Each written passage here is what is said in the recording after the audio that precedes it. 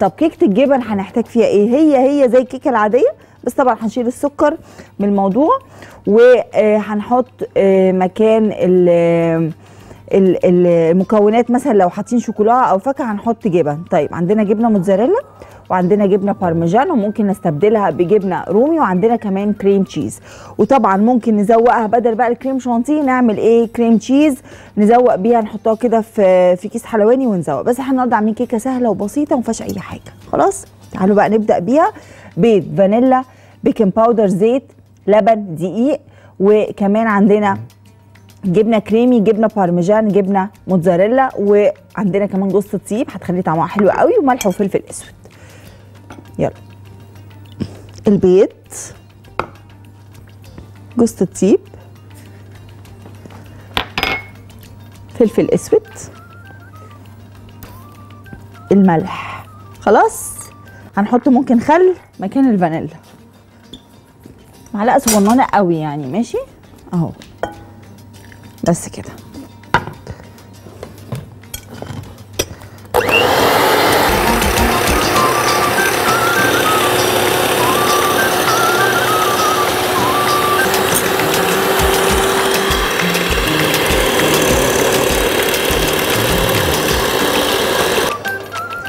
كده عملنا السوائل اللي هي إيه؟ البيض مع الملح والفلفل الأسود وجوز الطيب ومعلقة صغيرة جدا من الخل. هبتدي دلوقتي أعمل إيه؟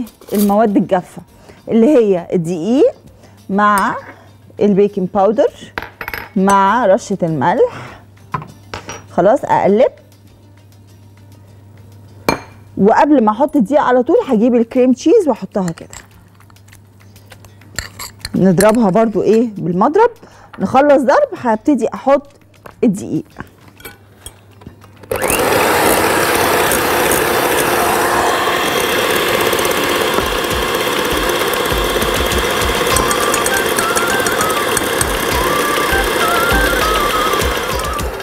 خلاص كده. كل ما نضربها كل ما إيه ما نخفقها كويس كل ما نضمن إنها تبقى فلافي وحلوة قوي. طيب أهو كده أهو أهو. جبنة موتزاريلا.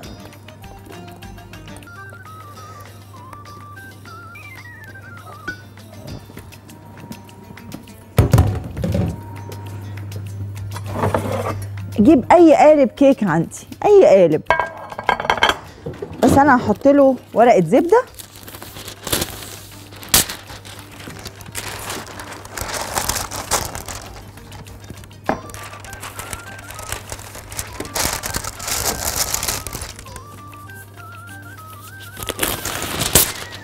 عشان تطلع عندي إيه بسهولة. اي قالب.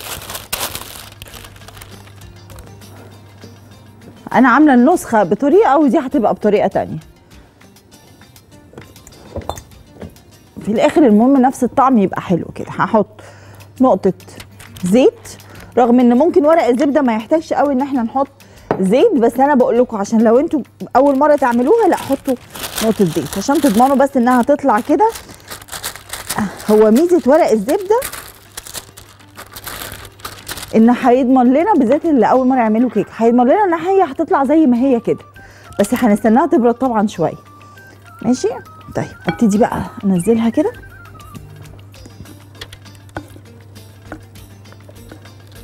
هحطها على درجه 180 أو 200 لمدة 40 دقيقة.